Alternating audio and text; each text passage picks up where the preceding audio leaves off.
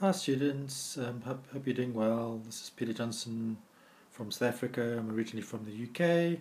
Um, I'm a um, native English speaker. Um, I've been, yeah, been, I'm currently doing um, English tutoring online. I'm also doing some math tutoring as well online.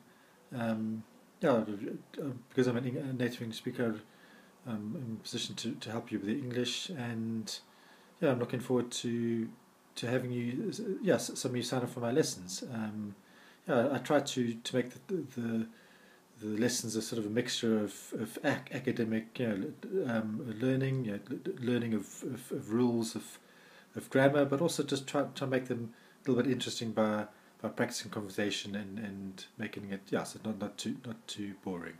So hopefully you'll sign up for my lessons and I'll hopefully see some of you online. Bye now.